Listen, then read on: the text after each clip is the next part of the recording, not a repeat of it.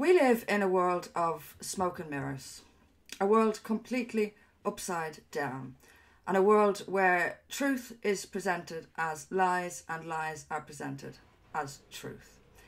The recent US presidential election has demonstrated this in so many ways.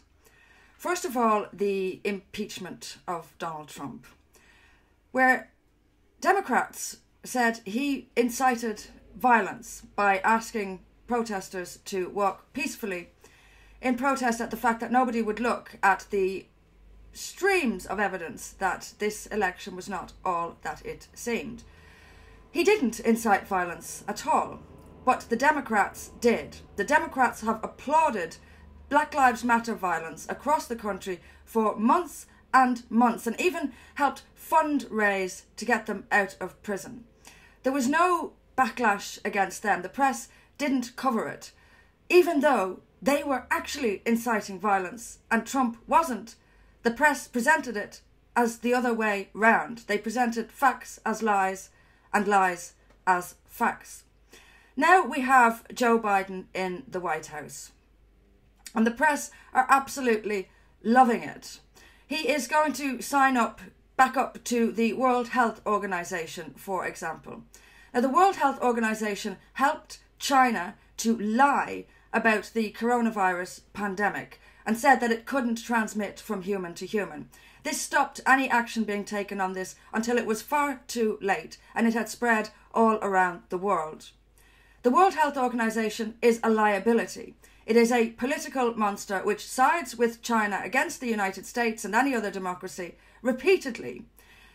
Now it's we're supposed to celebrate the fact that this organisation, which lied for China, now has America back in. Biden has also signed up to the climate change lie. There is a environmental problem on this planet. It's a problem of pollution, and it is largely at the feet of China, but nobody says so. There is no penalty for China for polluting the way it does. There's no penalty for them for opening coal station after coal station. It's only Western countries who are already taxing their people to, into oblivion to pay for wind farms and solar panels that don't work. And to build a wind farm, you have to, guess what? Use electricity. And guess what that's generated from? Trees. The whole thing is a scam, a lie, that Biden has now signed America up to again, and meanwhile, the real environmental problem of pollution is ignored because China is at the forefront of it. Then we have the trans agenda. We are we already know that Biden is promising that men, people with male genitalia, male DNA, male bodies will be allowed to self identify and walk into women's toilets, women's dressing rooms, women's refuges, women's shelters, wherever they like, regardless of the threat this may pose to the safety of actual women. Again, we are told that we have to accept that a human being who was born male, who has male genitalia, can simply call himself female and he's female. That's the size of the lie that is now being accepted and promoted from the White House, and the press is celebrating it. Now he has changed the Oval Office. He's changed the busts in the Oval Office. And he's removed Winston Churchill from it. Donald Trump, Churchill has been sitting in the Oval Office for decades. Barack Obama took him out. Donald Trump put him back. Now Biden has taken him out again. He has replaced him with other busts, including those of Martin Luther King and Rosa Parks. Now, I have no problem whatsoever with busts of Martin Luther King and Rosa Parks being in the Oval Office. I actually think they should be there. But the problem that Biden has got is that they were calling for racial equality at a time when black people were horrifically uh, discriminated against, segregated, and basically appallingly treated in the United States. They were fighting, in other words, a just cause. But he has not done this to reflect on the just cause they were fighting. If busts If he was putting busts in the Oval Office to reflect those who have fought just causes, he would not have taken Churchill's out. Churchill stood up to Hitler when the rest of Europe had fallen. That deserves some credit, I would think. And this isn't hundreds of years ago, it's only last century. He's not doing this for any other reason than to stir up racial division and racial hatred, the very thing he says he's going to oppose. Biden has already said that he's going to offer economic assistance to black and Asian, or basically non white, businesses in the United States. Why non white? Why not everyone who is struggling in the United States? Why not help everyone? Why does he have to name people by colour?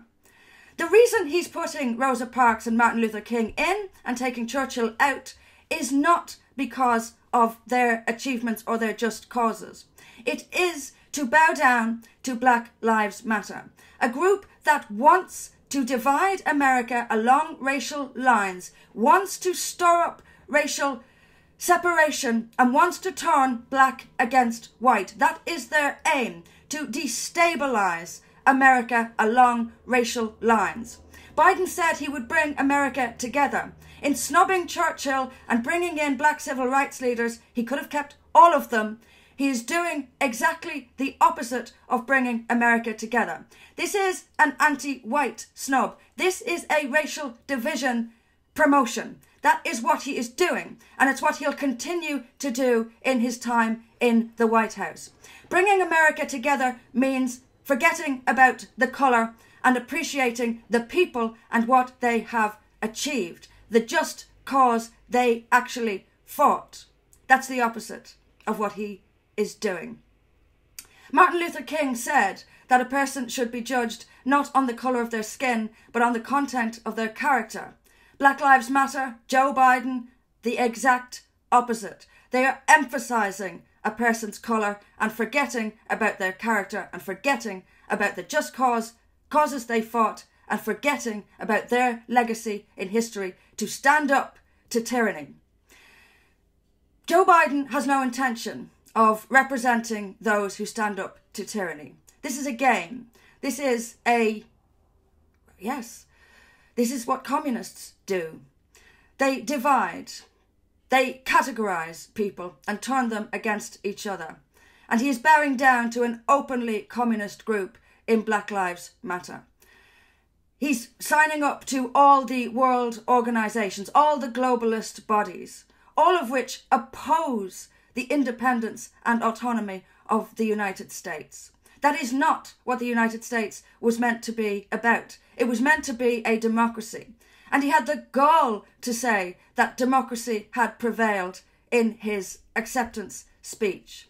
If he is so certain that democracy had prevailed, why doesn't he prove Donald Trump wrong and prove that he did legitimately win all of those votes?